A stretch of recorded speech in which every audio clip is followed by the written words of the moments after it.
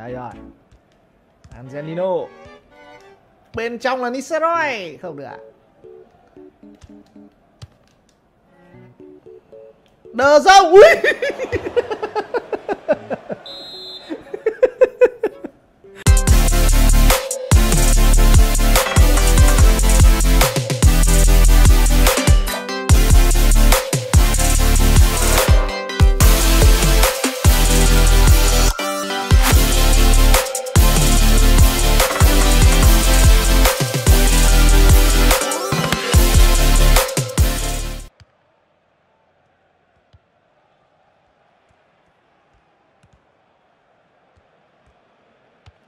Các anh em thân mến, tạt cánh đánh đầu vẫn luôn là một vũ khí có sức sát thương cao trong tất cả các phiên bản FIFA Online 4 từ lúc game ra mắt đến bây giờ. Thậm chí đã có những thời điểm nó trở thành cơn đau nhức nhối của cả một cộng đồng. Tuy vậy thì mọi thứ coi bộ đã sáng sủa hơn sau bản Big Update cập nhật gameplay lần thứ 5 hồi đầu năm 2021. Trong phiên bản gameplay hiện tại để có một đường tạt bóng tốt, cầu thủ thực hiện cú tạt bóng cần phải có đà, tư thế tốt, một vị trí đẹp và một bộ chỉ số phù hợp với kỹ năng tạt cánh. Bên cạnh đó, người kết thúc pha bóng cũng phải là một cầu thủ có khả năng đánh đầu tốt, chọn vị trí tốt và chạy chỗ để loại bỏ hoàn toàn sự tác động đến từ các hậu vệ.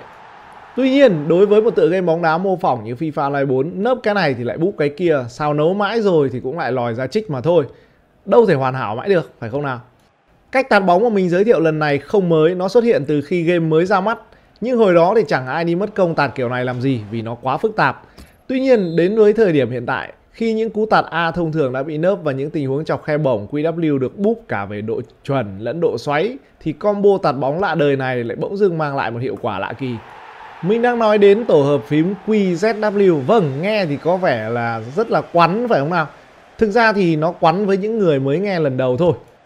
Lạ lẫm đối với những người chơi FIFA Online Chứ trong tựa game FIFA Series thì những combo kiểu này đã có và xuất hiện từ thời FIFA 19 Nên mình khẳng định là nghe thì Hàn Lâm đấy nhưng tập thì sẽ quen thôi.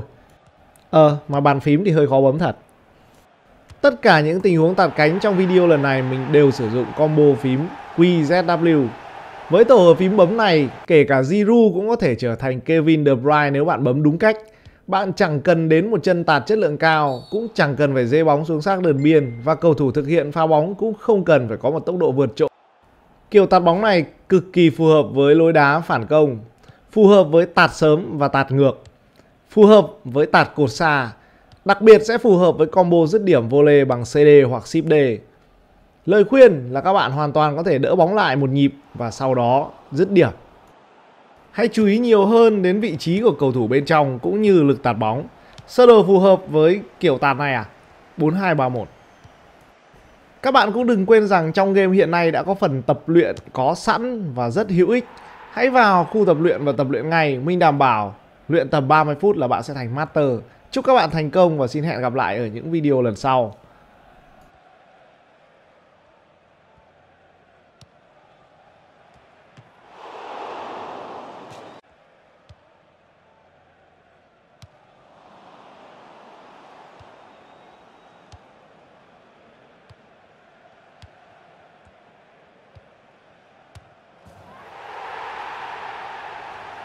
Cảm ơn vì đã theo dõi hết video. Hãy bấm đăng ký theo dõi kênh của mình và nhớ bật nút chuông thông báo ngay bên cạnh để không bỏ lỡ bất kỳ video nào mình ra trong tương lai. Còn bây giờ, xin chào và hẹn gặp lại các bạn.